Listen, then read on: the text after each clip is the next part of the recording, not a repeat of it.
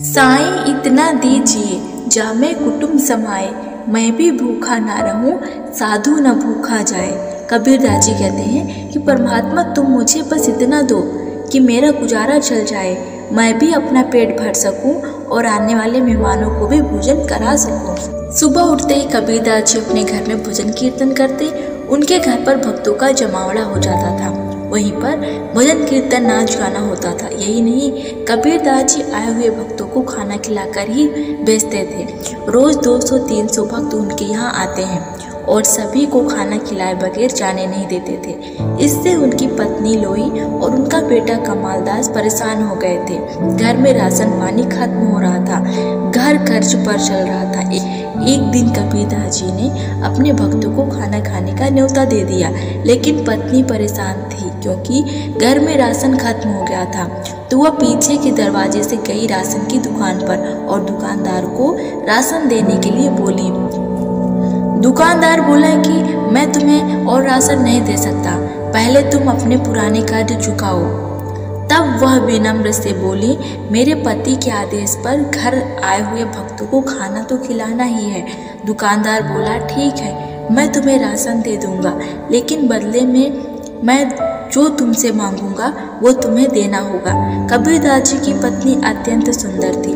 दुकानदार उसे गंदी नज़रों से देखने लगा था। दुकानदार ने कहा, आज रात तुम मेरे घर पर आ जाना और मैं तुम्हारा सारा कर्ज माफ़ कर दूँगा। वह थोड़ी देर सोचने लगी और दुकानदार से बोली, ठीक है, मैं आ जाऊँगी। अभी के लिए मुझे राशन और पानी दे दो।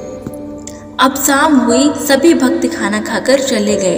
पत्नी तैयार सज धज कर बैठी थी, लेकिन बाहर मूसलाधार बारिश होने लगी थी। कबीर दास जी ने अपनी पत्नी से पूछा, क्या बात है? तुम आज तैयार होकर क्यों बैठी हो?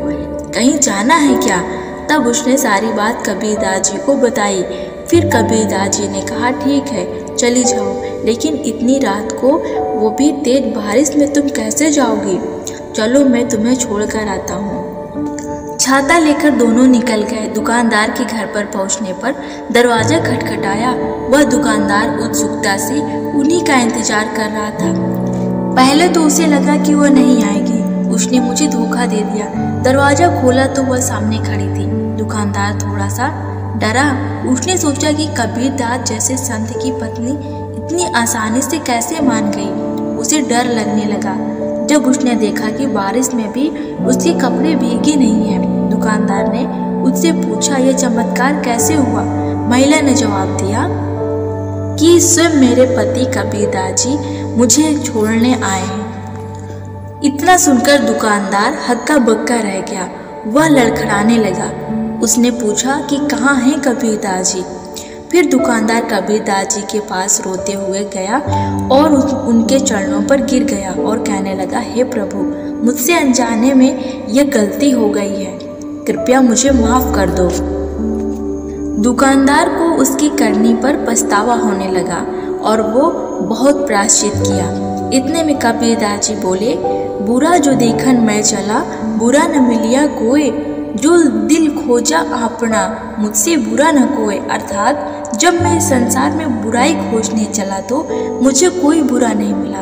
पर जब मैंने अपने अंदर, अपने मन के अंदर झाँक कर देखा तो इस संसार में मुझसे बुरा कोई नहीं मिला। नमस्कार दोस्तों।